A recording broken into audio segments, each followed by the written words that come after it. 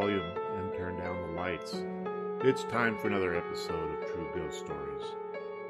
I'm Dave Mace, your host and guide for this Outside the Veil podcast. For this episode, we'll be visiting a house on Market Street in San Francisco. Today, the house is a business in a Victorian style storefront located next to an abandoned theater. It's not often that police are called to investigate the paranormal. In my own law enforcement career, I can only think of one time of being dispatched to a ghostly call. Myself and another officer arrived at a disturbing the peace call in a fairly new neighborhood. The call was vague as to what exactly was going on, but it seemed to have something to do with a noisy neighbor. We knocked on the door, and it was opened by a average looking male in his early 30s. He thanked us for coming so fast and invited us in. He led us to the living room, stopped, and seemed to be listening for a second, then began to explain why he had called. Okay.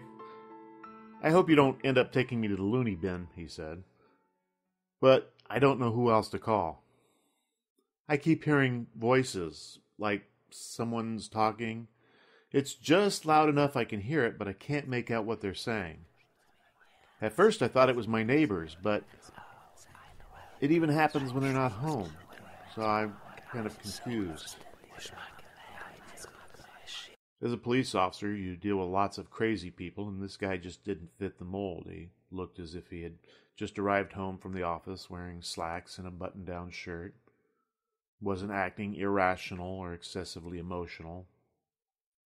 He was simply at a loss to explain where these voices were coming from, and it bothered him.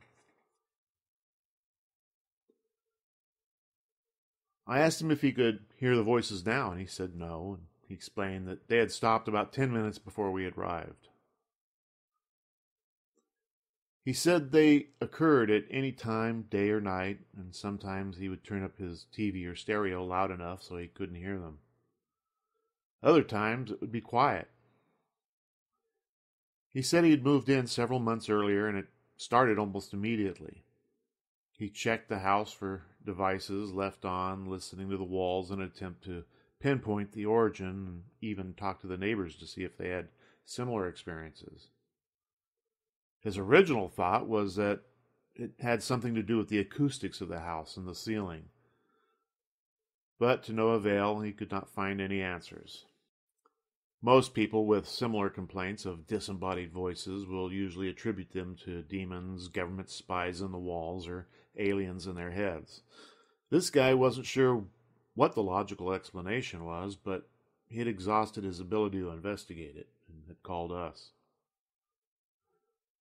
The other officer and I looked at each other and kind of shrugged, and we believed the caller was sincere and not hallucinating or crazy, but we had absolutely no suggestions for him. It was probably one of the few times, and the last time as a cop, I was stumped completely. I had no suggestions for him at all. I told the man that we sympathized with him, but we didn't know what else we could do for him.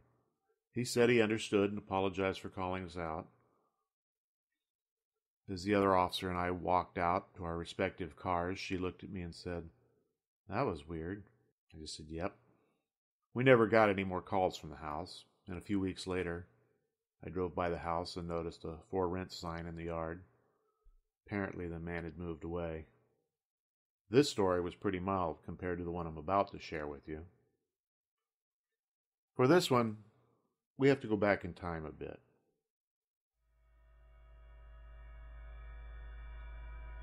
This was a strange tale that occurred about two years after the great San Francisco earthquake.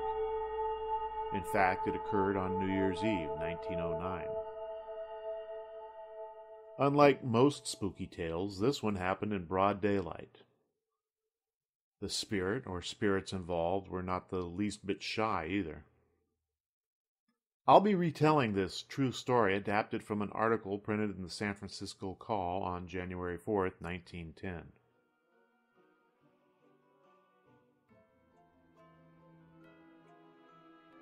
Max Barnett was a tailor living at 2457 Mission Street. He stood with four of San Francisco's finest, two uniformed officers and two detectives, and watched as furniture danced, banged, and moved, and even floated about the house. Neighbors gathered as the furniture put on a show for them and others present.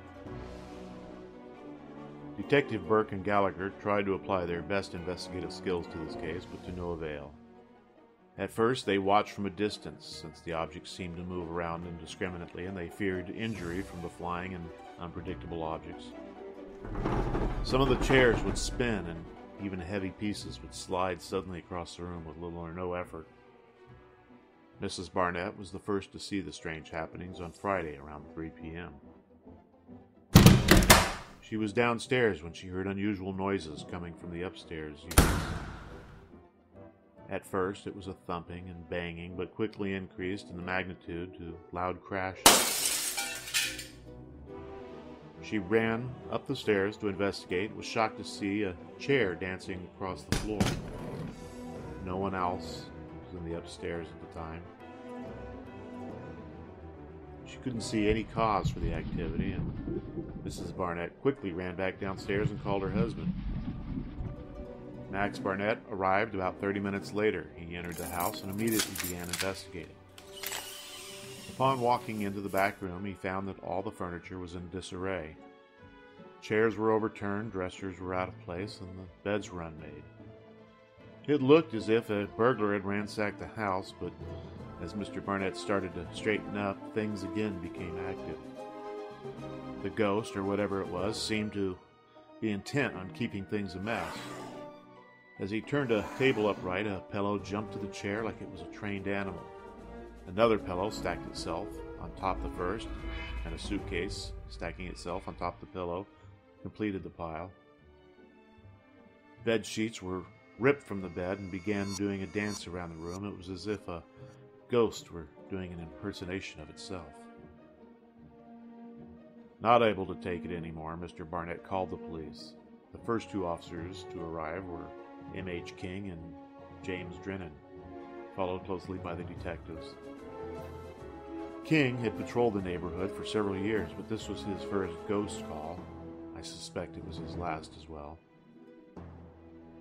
After a brief explanation from Mr. Barnett, the officers went to work. Being practical men and the company of other practical men, they acted on experience and ordered whoever was inside to come out. They got no response, but the furniture itself immediately seemed to start being affected. The bed immediately hopped several times in place, causing two framed pictures to fall off the wall. Startled but not deterred, the officers set about straightening up the room, but no sooner had they started that unseen forces again began to turn furniture over. Tables would fall over and chest drawers would twist in place. Despite it being winter, the officers were all having to wipe sweat from their brows. They were quickly understanding that this was not something that they had ever encountered before and had no real resources to address.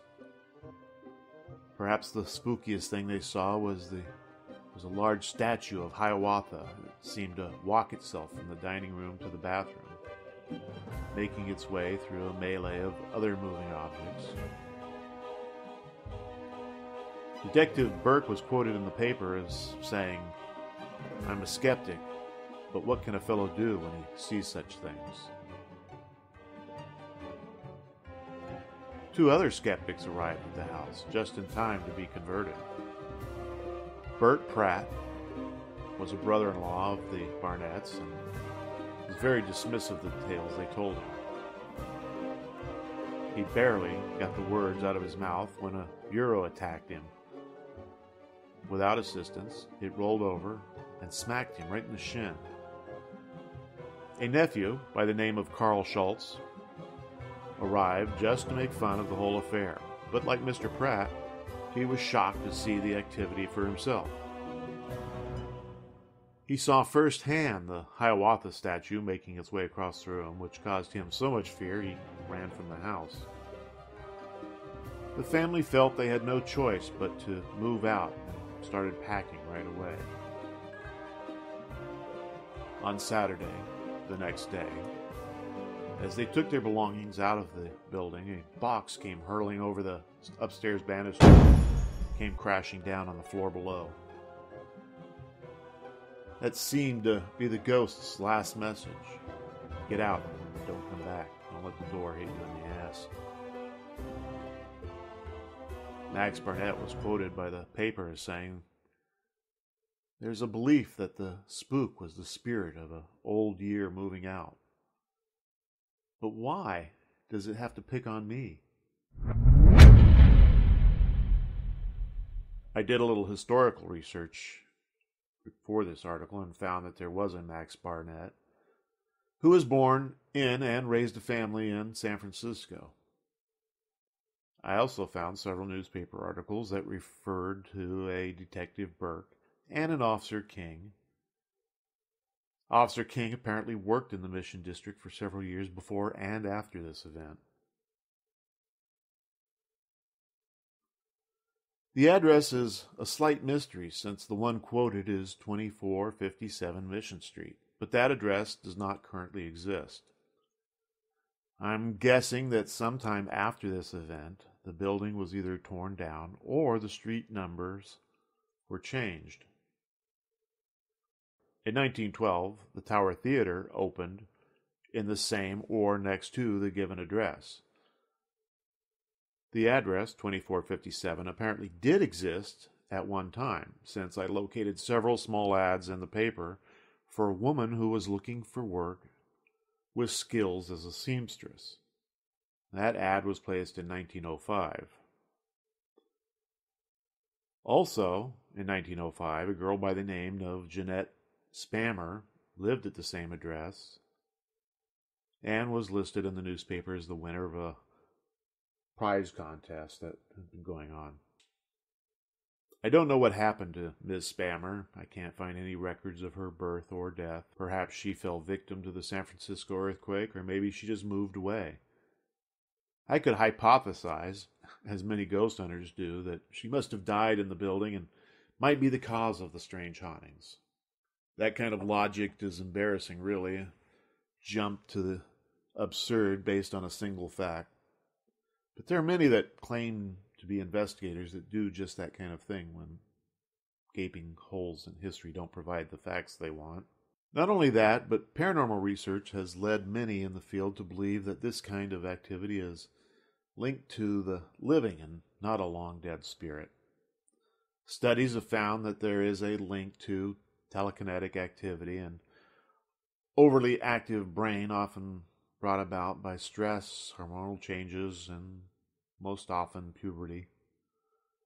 Telekinesis is the ability of the brain to influence inanimate objects to move and basically defy the laws of physics with or without a person's awareness. Fortunately for all of us, this is a rare occurrence and even rare to the degree of this kind of an event.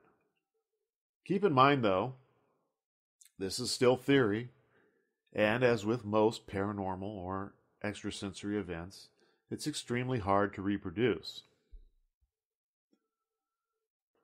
This could mean that scientists are on the right track, or not even close. We only know that these kinds of people,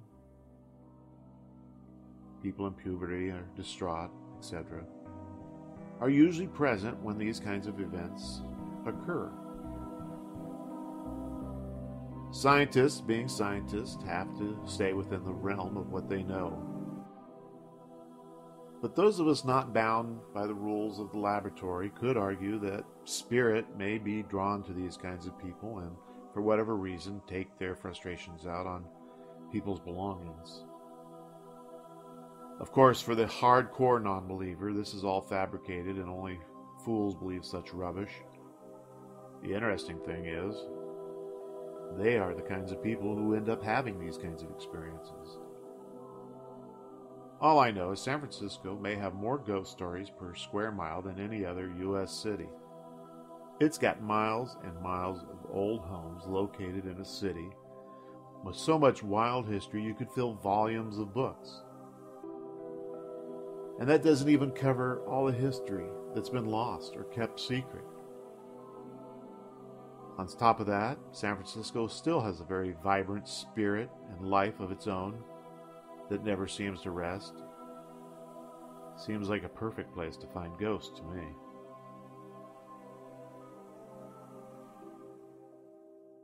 I want to thank you for listening to this episode and hope you'll keep coming back for more. If you get a chance, you might want to stop by and visit my website, www.outsidetheveil.com. When you do, I'll be here. You'll be able to find me just outside the veil.